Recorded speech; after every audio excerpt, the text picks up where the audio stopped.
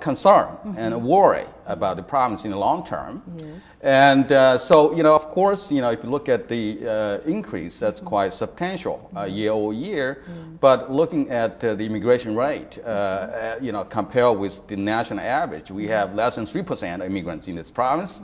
Right. national average, we have 20%. Right. So there's a lot of room to grow for this province. Okay. Of course, you know, people have, you know, a lot of concerns about immigration in this province. You know, some say, you know, uh, immigrants may take jobs away from what they have, and some may say, you know, immigrants might drain, you know, public, you know, uh, resources, right, in health and mm -hmm. social security and so on. This is a common health mess. Right. So my research really is to dispel this kind of common health mess, yeah. and just looking at employment. Mm -hmm. And most immigrants coming to uh, this province now are coming at, you know, from the economic uh, immigration class and uh, mostly employer driven actually. If you look mm-hmm. at uh, the provincial nominee program, most recently uh, we have the Atlantic immigration pilot programs mm -hmm. yeah. and one of the conditions to get approval of immigration status, you need to have job offer from an employer. And that means that uh, those jobs have been already advertising yes. for considerable amount of time, mm -hmm. usually six weeks. Mm -hmm. uh, if no, uh, you know, uh, local workers have the qualification, mm -hmm. or you know, uh, no uh, local workers are willing to take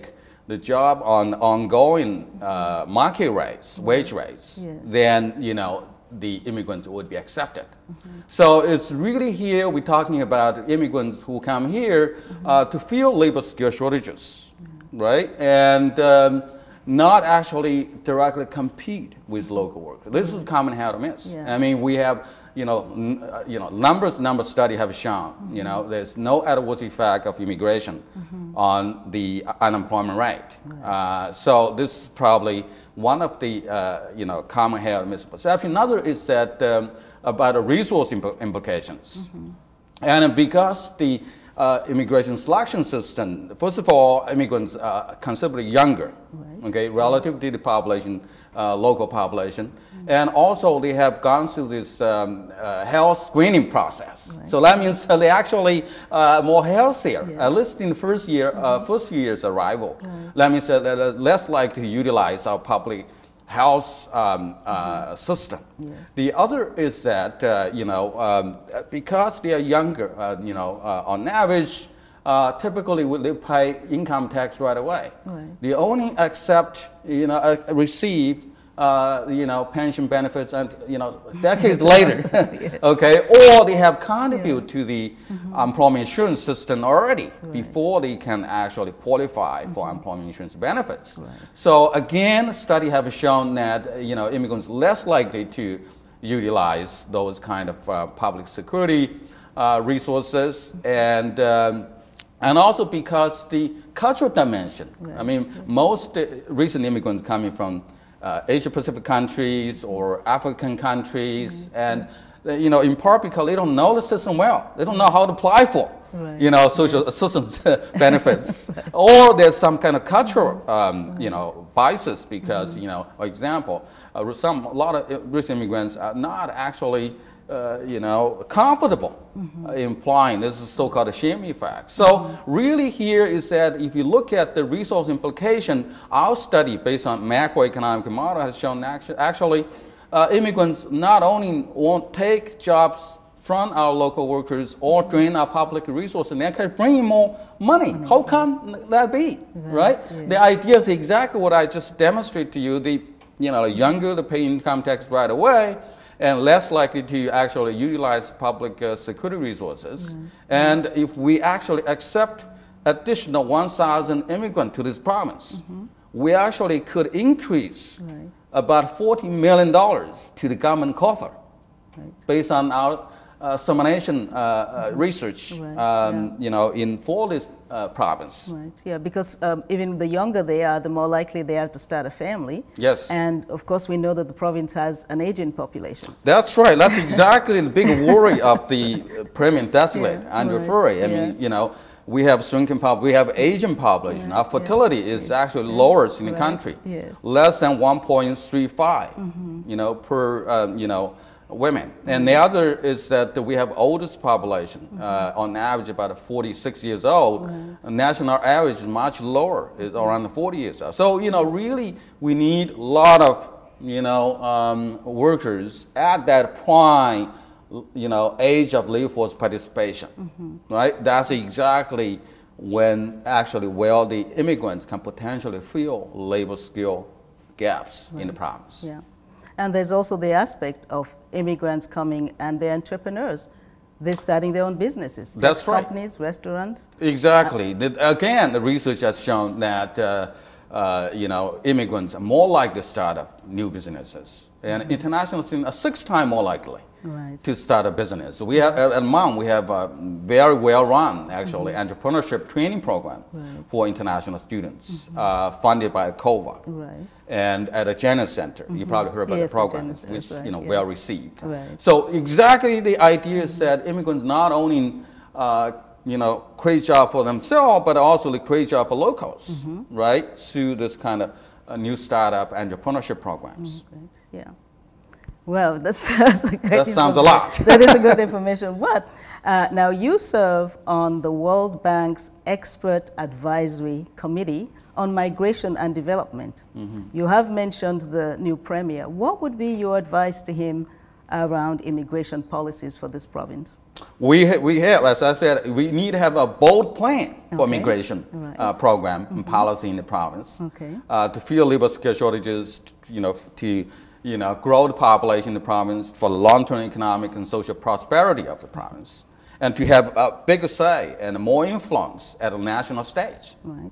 And uh, so, you know, as I said earlier, you know, this is, you know, pretty dramatic increase, 50% of immigration intakes, about 1,700 by 2022. Uh, sounds impressive, but I think we can do a lot more than that because national average is 1% of population. Right. And here in this province, less than 0.3%. That means that uh, based on our calculation, we should be able to bring 5,000 immigrants, at least, Yes. right, to, you know, to fix this population shrink and also fix this uh, labor skill shortages. Right. And we have, uh, you know, a lot of to do, uh, you know, a lot of to grow in this province. Right. Yes, and to increase the economy as well. That's right. Exactly. I mean, this is probably one of the most important issue. When I first actually took on this position as Stephen Jarislowsky chair, of course, you know, he himself is very successful uh, refugee to this province from Germany. Yes. Uh, you know, fleeing from the oppression of Nazis in the 1930s,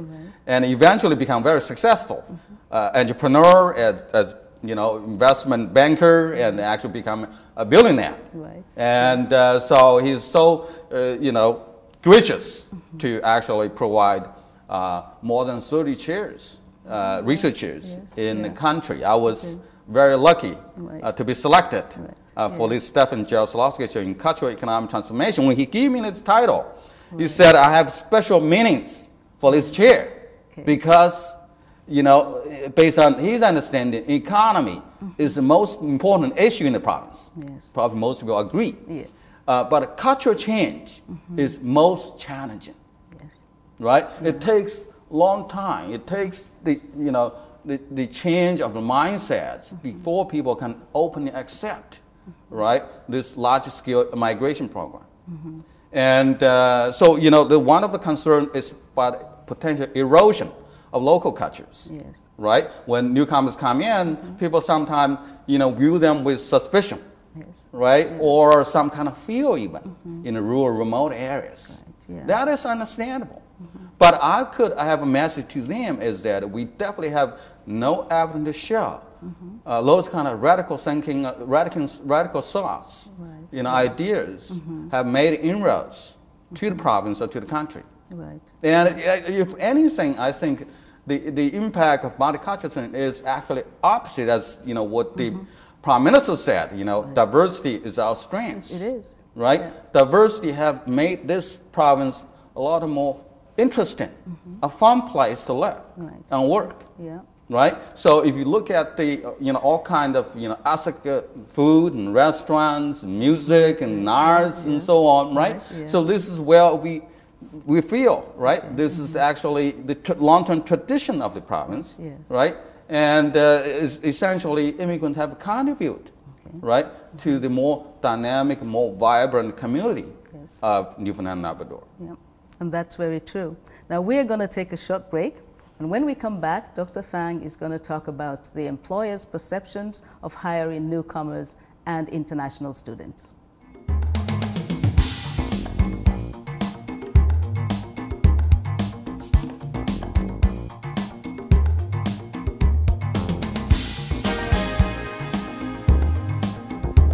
Welcome back to Sharing Our Cultures as we continue our conversation with Dr. Tony Fang.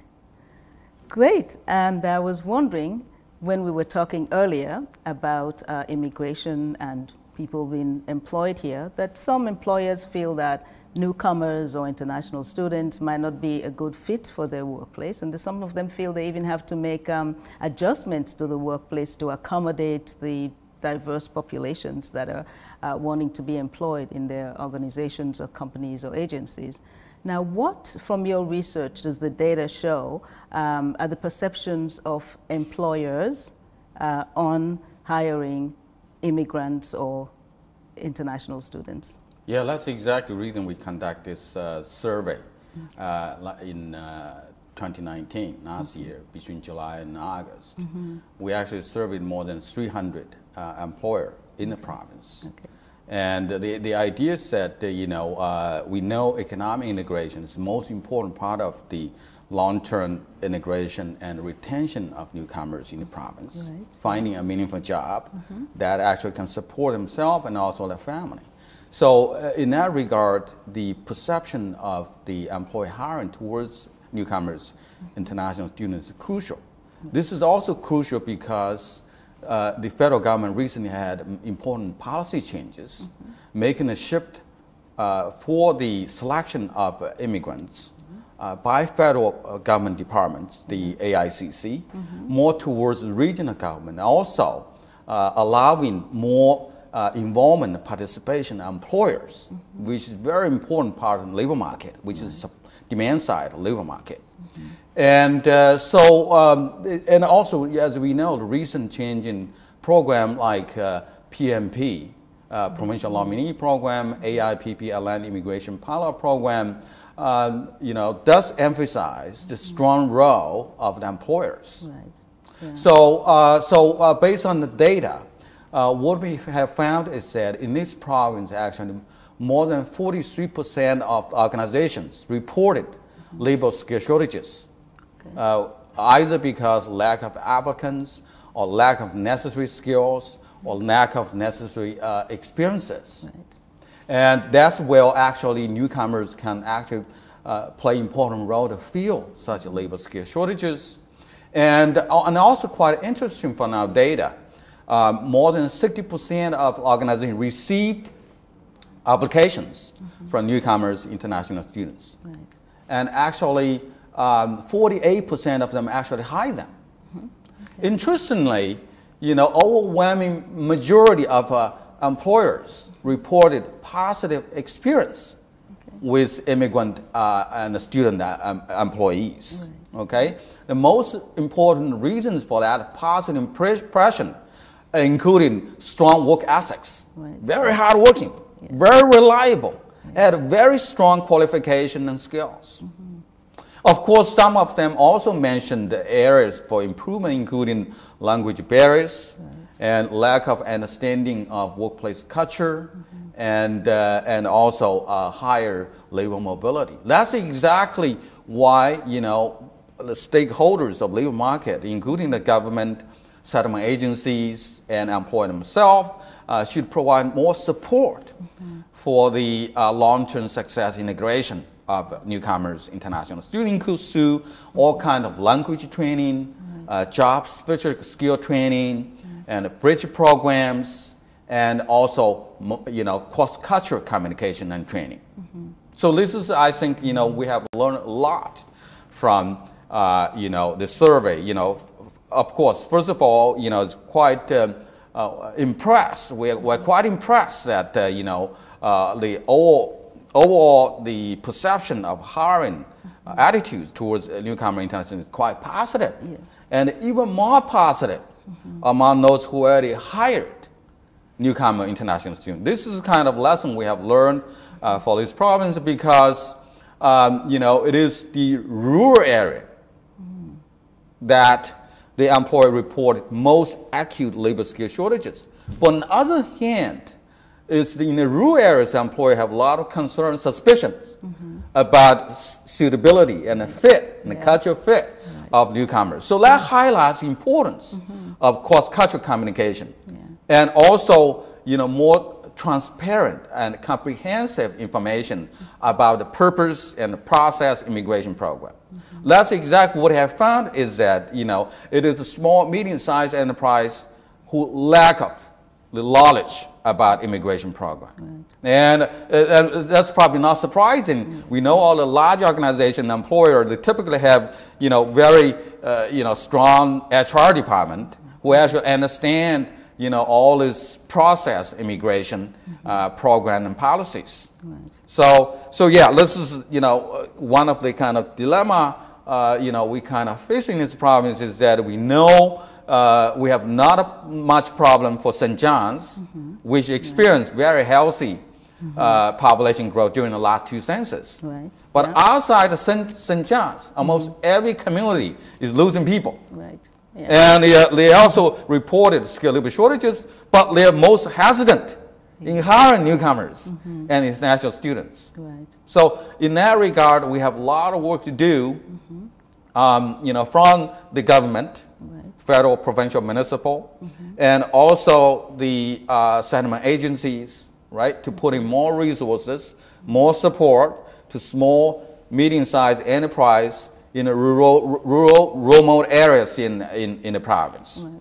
Yeah, because I think when newcomers come, they're more likely to agree to work in rural areas than maybe even the local people. So it, it's it's a place where they can actually go and be able to use their skills, their experiences, and actually learn about the cultures.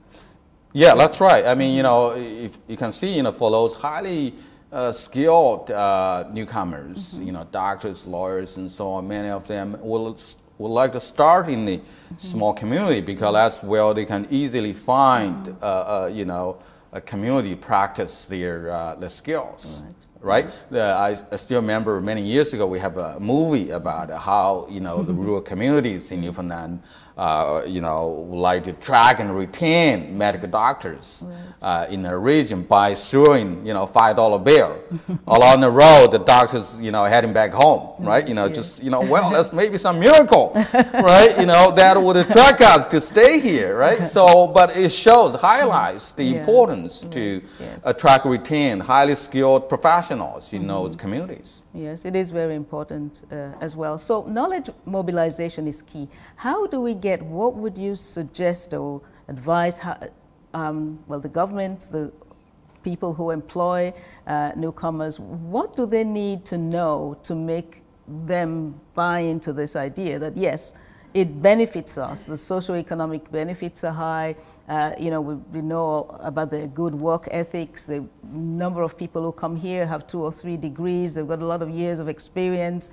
you know, so we don't want them just to come and waste that here. How do we get that message across? Well, first of all, you know, we have uh, our responsibility as uh, researchers, as academics. We should reach out rather than sitting in a dark room writing papers, right? Uh, So, yeah, let's, you know, exactly what I, have been doing. I mean, doing this, like interviews with the media and uh, with the local organization, border trade, right?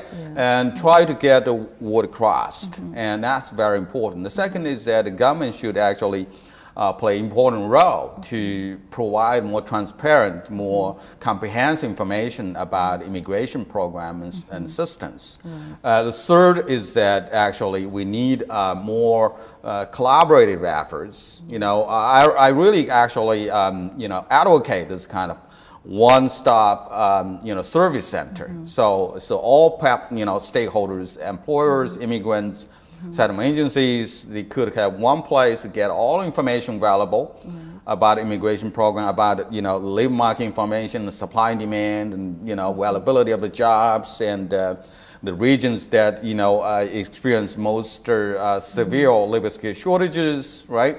And uh, so, yeah, so last night I think we need very much a concerted efforts mm-hmm. to mobilize the knowledge, right. right. to share the information, right. to provide mutual support mm-hmm. so that, you know, uh, the immigrants feel comfortable mm-hmm. in settling uh, in those communities, um, employers feel the benefits and contribution made by the employees. Mm-hmm. Um, and, and the government uh, have seen their tax increase, revenue increases, mm -hmm. right, in the mm -hmm. coffer, yes. right? So they will be more supportive as well. So really, I think, you know, we need to come up this, you know, idea well, this is really kind of, um, you know, uh, women's situation for all stakeholders. We're all in this all together, right? Yeah. right? Mm -hmm. So that's the main message I would like to share mm-hmm. uh, with the audience here. Yes, yeah. Okay, and we will uh, most definitely take that to heart and um, see actually how we all can work together, particularly in helping not only newcomers to come and work here, but also stay and raise their families here as well. That's right. Yeah. And that's the, you know, I, I think, you know, one of the important policy implications mm -hmm. for our study is actually we need to provide strong support right to both employers and also newcomer international students. Mm -hmm. And all kind of support, including spouse employment, accessible, uh, you know, health care, mm -hmm. more, um, you know, uh, you know, uh, easy access, public mm-hmm. transportation, right, and, and, mm-hmm. and and so on and so forth, so that you know.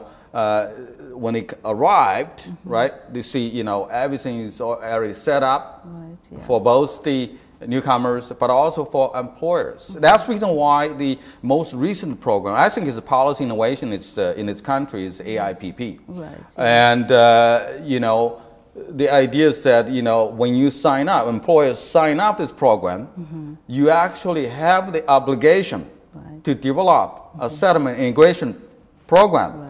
For the employees, but also the family members. Mm -hmm.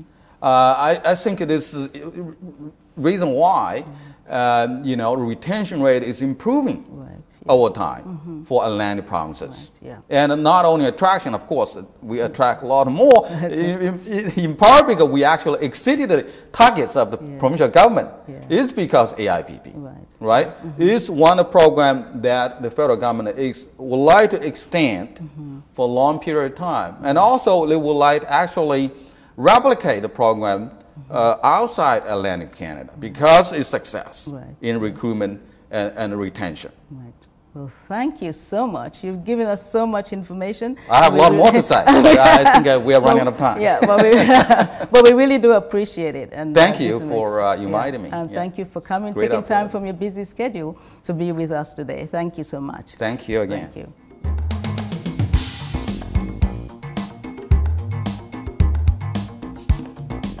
Thank you for joining us today as we had conversations with Dr. Tony Fang.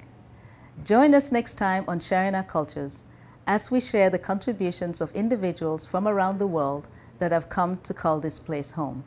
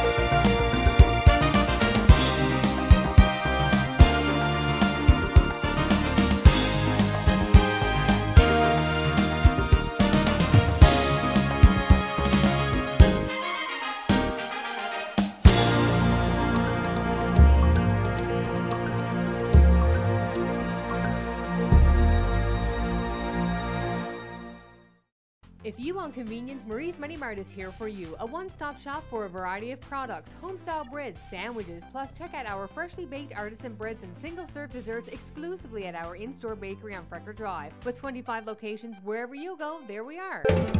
Call the Rogers TV viewer response line, email us, or connect with us on social media.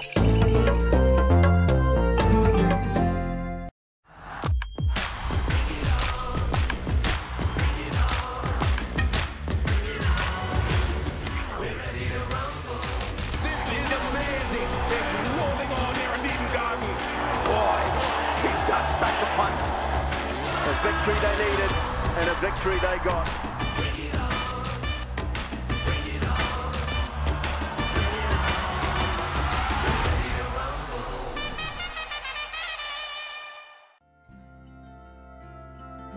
Are you a woman experiencing abuse?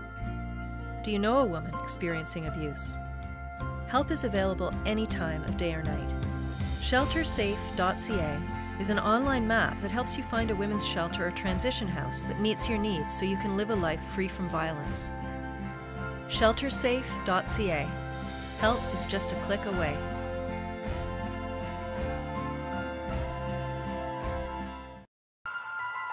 Eleven Eleven, a new series that focuses on the supernatural, spirituality, and all kinds of mystical beliefs. Join me, Roberta Hewitt, Thursdays at 8 p.m.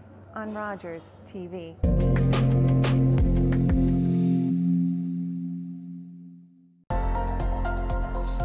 The following program is brought to you by Rogers Anyplace TV. Enjoy exclusive content for free. Visit RogersAnyplaceTV.com.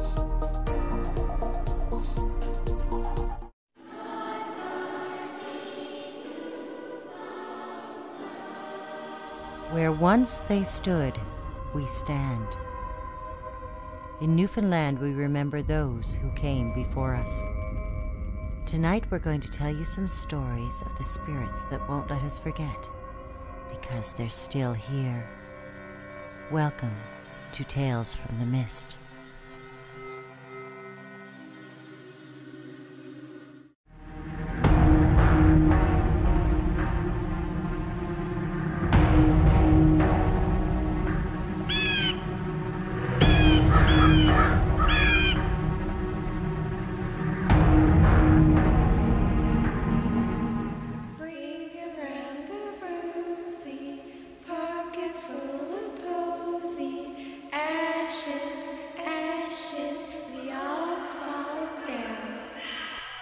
On Strawberry Marsh Road, there is an inconspicuous brick government building. From its exterior, it certainly doesn't look like a home for ghosts. But as we know, looks can be deceiving. Before the patent building housed government employees, it was called the Exon House, a home for developmentally delayed children. Before it was the Exon House, it was the site of an Anglican orphanage. Lives were lived and lost inside these walls, and some of their voices remain. One evening, a staff member was working late in the office, trying to prepare for a meeting first thing in the morning. They heard what sounded like children running down the hall and giggling. I think she does. I think she sees us. She saw us. I think she saw us. The first thought was that a colleague had returned with children, maybe just to grab a file. She continued to work and tried to ignore the children's laughter, but it continued for at least ten minutes. Finally, she got up and went into the hall to investigate. There was no one in the hall. It was completely empty. She was sure she was hearing children, so she went to the other wing and called out, Hello? Who's in there? No response. Everything was quiet. Even louder. Who is here? She went back to her office, thinking she had missed whoever was there and really needed a break. Back at her keyboard, she just started to write again when she heard giggling. Only this time it was louder, right outside her door. She thought, one of the guys is here and trying to scare me. It's not going to work, she yelled out and tried to ignore it. Finally, she got up and looked again. No one. All the office doors were closed. No one was in these cubicles. She even went downstairs to check the login book. No one had signed in, and all the lights were off. Now she was really getting suspicious. She went back to her office and just sat there for a minute. Her skin was tingling. She remembered that this had been a home for children, delayed children. Some had died here.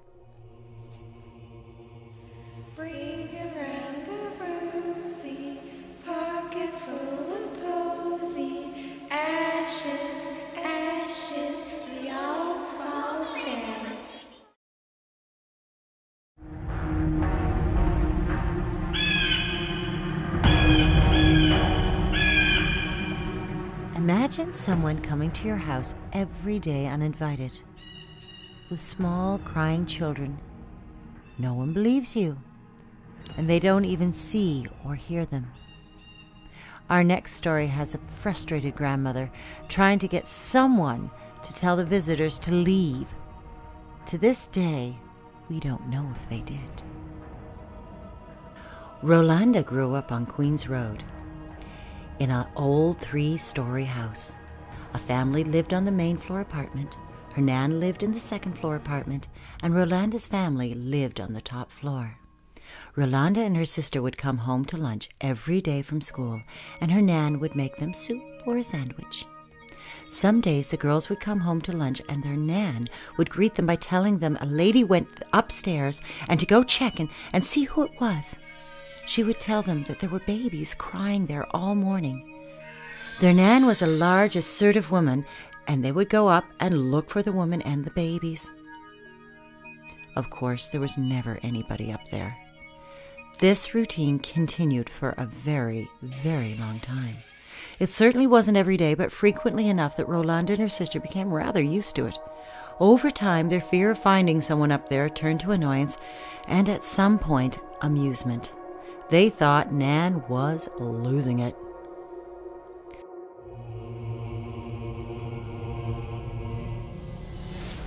This was the only thing that was not right with their Nan. Otherwise, she was very sane and competent. The girls couldn't understand why she kept asking them after this mysterious woman and her crying babies. Fifteen years later, at university, Rolanda's father sends her a book written by Jack Fitzgerald. Her dad had put a yellow sticky note on the side of one of the pages with a note saying, Read this. Bear in mind, her dad never sent her mail. This is the only thing he has ever sent her in her entire life. Curious, she opened it up to read the story.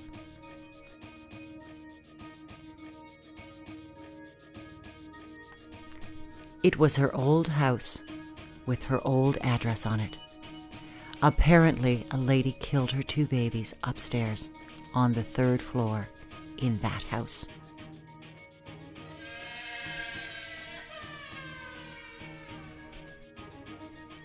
They were very small, tiny little things.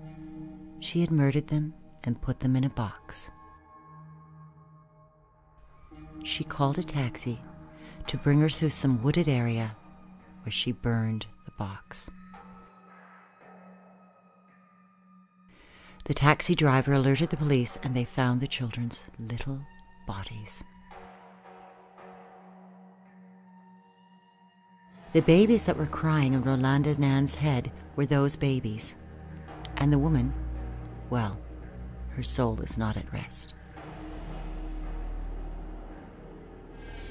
They had never heard of the murders in their house. They had no idea of the history of the place until somebody gave her dad that book as a Christmas gift. The gift giver had no idea about the ladies and the babies that Rolanda's Nan had so frequently spoken of.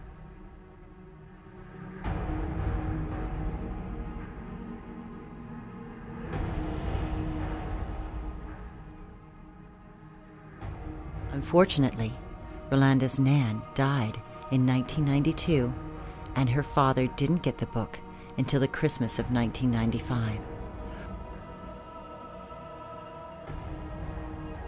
Rolanda's Nan died without ever knowing the real story behind her visions.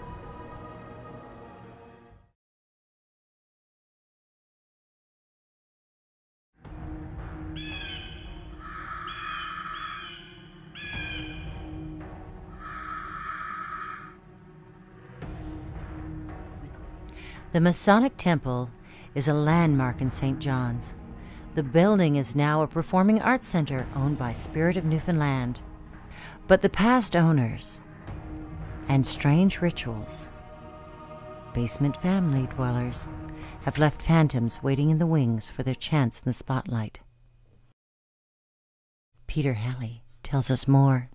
Yeah, the Masons lived here until six years ago. So it was, a, it, was, and still is, the Masonic Temple. Um, but they inhabited. Previous to getting this building, we had rented from the Masons. So we had done many shows, and uh, every now and then, one of the guys, who shall remain nameless, would let us up into the, the lodge room, and we would want to go out and play the organ there, and and just sort of get the sense and the vibe in that room because it was there was always a, a mystique about it, you know, about the whole building, of course, but that room in particular, it was, you know, not open to the public, so like school children, we had to get in that room and uh, and you know play Phantom of the Opera on the organ. Then we purchased the building, and uh, the very first night that we got the building, uh, the Masons had moved all of their material, all their furniture and pictures out, and we invited you know, 40, 50 people, uh, impromptu, to come into the building to celebrate. We were having champagne. We got the building. And uh, so it was an idea like, how about we go up in the lodge room where people weren't ever allowed? And we did. And, uh, and it's just that energy in the room, and people were asking us what the, this, uh, the tiles were for, and the, uh, this, the, the eye, and all the symbols. I took my dog and my friend's dog, and we were explaining the, the, um, the, the uh, platform in the middle of the floor, of the tile.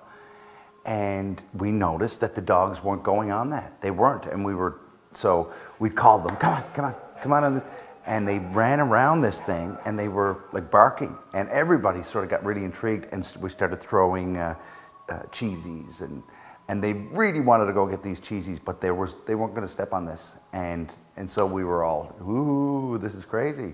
A lot of the wedding pictures that are taken here with the bride and groom, it's, there are unexplained orbs around the pictures. And uh, I sort of not believed when this caretaker was telling me, you know, uh, that a lot of the brides and grooms um, had complained about these, their pictures not coming out the way they wanted and, and didn't know what these things were in the pictures until a friend of mine got married here. And sure enough, um, all of these things in the pictures, uh, just unexplained, almost like, you know, when kids blow those bubbles. Looked like there were bubbles, but there weren't any bubbles in the scene, you know?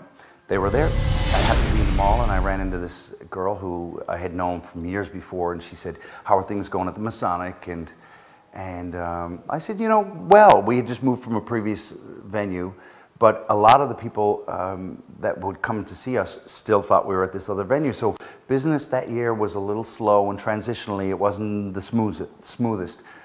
So she said, you know, I'd been thinking of you and, um, you know, the Masonic, and have you ever thought about getting it cleansed? And I was, you know, we have cleaners all the time, ha.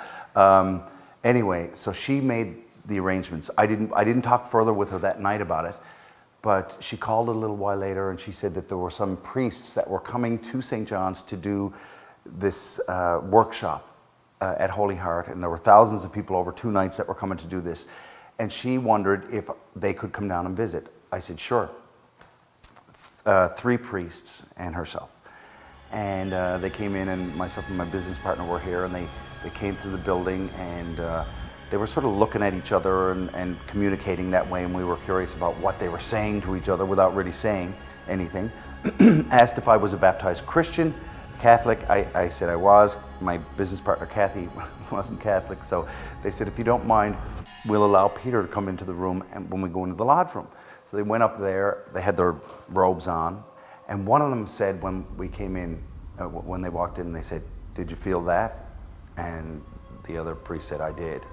And one of them said, we, we don't like it. They don't like it that we're here.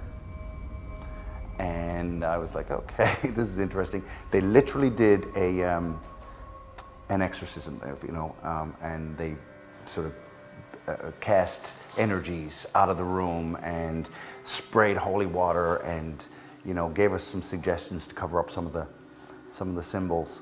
Um, I sort of took it very lightly, but you know you're curious as well because you just don't.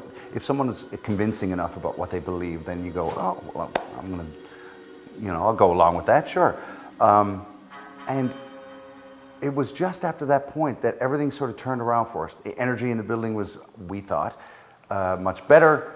Um, business certainly turned around and has really increased and, and, you know, and sort of went on the right path almost right after that. You know, some people have come in and said they've heard music and, oh, I think I just saw someone, and you know, you take it with a grain of salt. This man was moving legal files into the building. He was hired uh, by a company that was using our room for storage. And uh, several of the men had already gone up over the stairs, and he came up with a box and said to this man, Where do I, he hadn't been in the room yet, where do I lay these? And the guy, he said, just looked at him, and then uh, he vanished. So he came down over the stairs and went outside and said, I'm not, you know, I'm not going back in there. And so we went out and investigated why, and he told us that this is what had happened. He went up with the box and he saw this guy as large as life in front of him, and he said, Where do I put these? And he vanished. And uh, it, he was really funny. He said, You know, I need a cigarette, and my nerves are shot. Um, and this is what we've heard from a few people. He said that he was uh, a man, and uh, he was tall, and he wore a black coat. Um, other than that, that's, that was the description.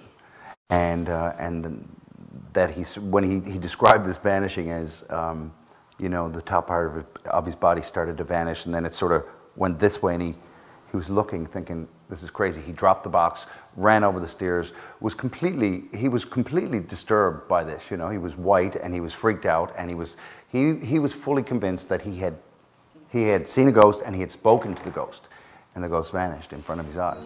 Caretaker of the building for the last 15 years, John Warren, um, he has notions of who it is, uh, various uh, masons throughout the years. Um, I don't know, the, the building used to, um, the, the, caretaker of the building used to live in the basement of this building and, and some of them raised their families here.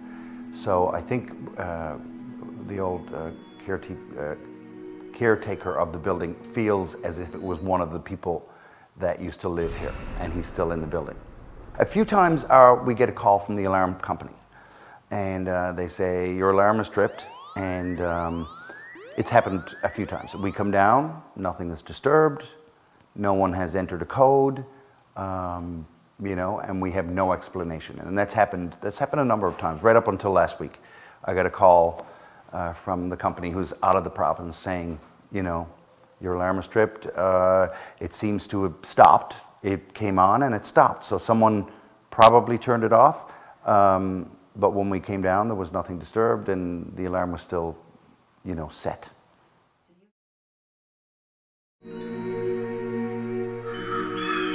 Just across the street from the Masonic Temple is another St. John's landmark. St. John the Baptist Anglican Cathedral is a beautiful example of Gothic architecture. In its courtyard is a cemetery where you may not want to find yourself alone at night. The first cemetery in St. John's was this churchyard. There are burial records for the cemetery found in the parish records. It's estimated that there are 2,000 records, but about 6,000 people are buried there. As this is the only consecrated burial ground for St. John's, prior to 1809, many people of other religions wanted their loved ones buried on consecrated land, so they would sneak in at the night and bury the bodies as they did not want the Church of England minister burying their Roman Catholic relatives. There are only a few headstones still standing. Most are buried in the ground, and a few have been moved elsewhere, to where we don't know. The present cathedral was begun in 1847 by Edward Field, the second Bishop of Newfoundland. Bishop Field commissioned plans from a leading Gothic revival architect, George Gilbert Scott, who envisioned a more impressive structure with varied ornamentation in the 12th century English style. The nave, built between 1847 and 1850, served as the entire cathedral church for 35 years. Scott's assistant, architect William Hay, oversaw the nave's construction. Construction on the choir and transept section did not commence until 1880 and was completed in September 1885 under the direction of James Kelly. The additions to the nave gave the cathedral the shape of a Latin cross and continued the era of Gothic revival architecture on July 8, 1892, the cathedral was extensively damaged in the Great Fire of 1892. The roof timbers ignited, which caused the roof to collapse, bringing the celestial walls and piers in the nave down with it. Many stone gargoyles watch the services over the years. The most interesting is that the oldest gargoyle, located in the south transept, is approximately a thousand years old. It came from the roof of a Bristol cathedral, a gift from the Diocese of Bristol. The cathedral also has numerous other plaques, relics, and historic pieces of stonework, as well as a museum and archives. In the archives, there is a very interesting photo. During the completion of the rebuilding, a workman fell off a scaffold and to his death.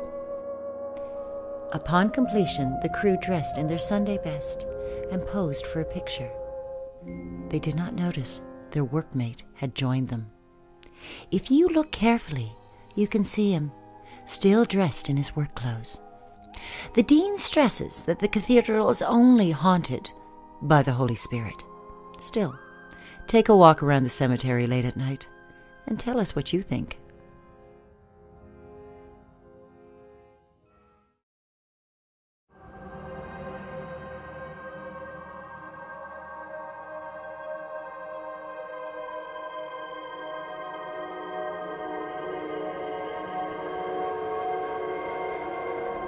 This rugged nine kilometer island was once the center of a thriving community and cultural destination. Settled in the mid 1700s as an agricultural and fishing community, the economy expanded tremendously during the 1890s when iron ore mining began. Iron ore deposits were vast and high quality and close enough to the Cape Breton coalfields to feed the giant steel mills in Sydney, Nova Scotia. The iron mines drew Bell Island into the international network of the mining and steel industry, and over the period of mining operations, distant powers and events shaped much of the history of the mines and of the island itself. During the Second World War, four ships were sunk and 70 merchant mariners lost their lives. Bell Island was one of the very few locations in North America to see enemy action during the war and the only location in North America to be subject to direct attack by German forces during World War II. Bell Island now has a population of 3,000. Not all the island's residents are easy to see. Legends of fairies, hauntings, eerie sightings, and sounds resonate through the community that even today keep the people of Bell Island cautious where they walk when the sun goes down. Henry Crane of Tourism Bell Island grew up on the island and knows its secrets and hosts the Ghost Walk every summer. When I started doing this, I started to, uh, I was really interested in ghost stories because my grandmother Hammond told me so many ghost stories and folklore and everything else. What was real, what was unreal, what was made up, etc. Uh, from then, when she passed on, I sort of like took it as a project of myself, and I interviewed as many older, and I mean older people in, in the in the uh, town as I could, uh, everybody, and they start to come with these ghost stories and these uh, entities and everything else. Uh, and then I end up doing a show at Creepy Canada, and, and then uh, the Newfoundland Paranormal Society got a, got hold to it, and then they came over here and, and they saw our ghost tour, and uh, they bought a couple of psychics with them, and they spent I think it was three nights altogether over here on Bell Island. And by the time they were finished, they deemed this area that we perform our haunted tour in, which we didn't think of as the time, but we knew it was creepy. That's why we picked this area. Uh, they deemed it the most haunted part of North America, not only of Bell Island or Newfoundland or Canada, but in all of North America.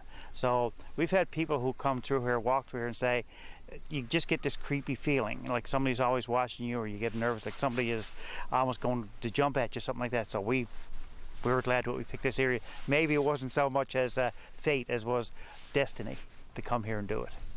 The haunted tour itself uh, features uh, five talking ghosts. Uh, some of them very, very benevolent, some of them very evil. Uh, our first ghost that the people meet when they do the haunted tour is uh, the ghost called John the Miner. Uh, I believe 107 miners were killed down here over at, uh, from 1895 to 1966 when the mines closed. Uh, any miner who was killed in the mines, the folklore has it that if that person were killed in the mines, they could their spirit never leaves the mines. We meet a, a, ghost called the White Woman. Uh, people call it these days the Woman in White, but that was actually the White Woman. It's based on a true story. Uh, back in the 1940s, late 1940s, a young woman was killed. She was murdered, uh, and and she was thrown in a well. And like you, you know, you wind up the bucket and you that's how you get your water.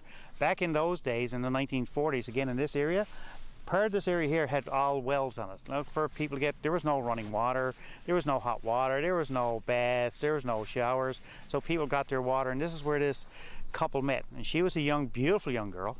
Uh, she and there was about 16,000 people on Bell Island. She started to take up with this man, and eventually she found out he was married.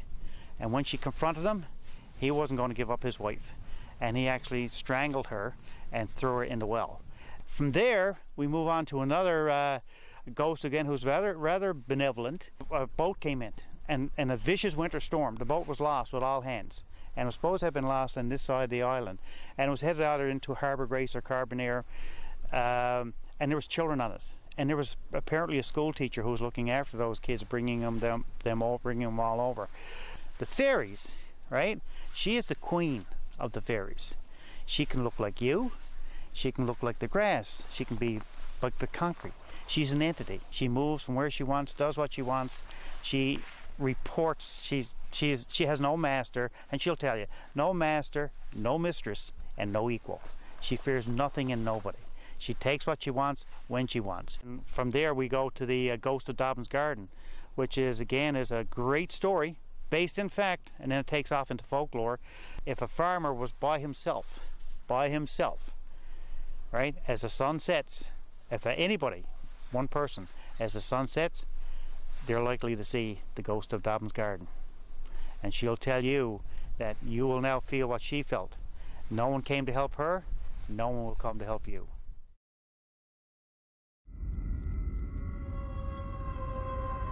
We hope you've enjoyed these tales. The next time a shadow moves in the corner of your eye, just out of sight, or you hear something you can't explain, just remember to tell a good story about it.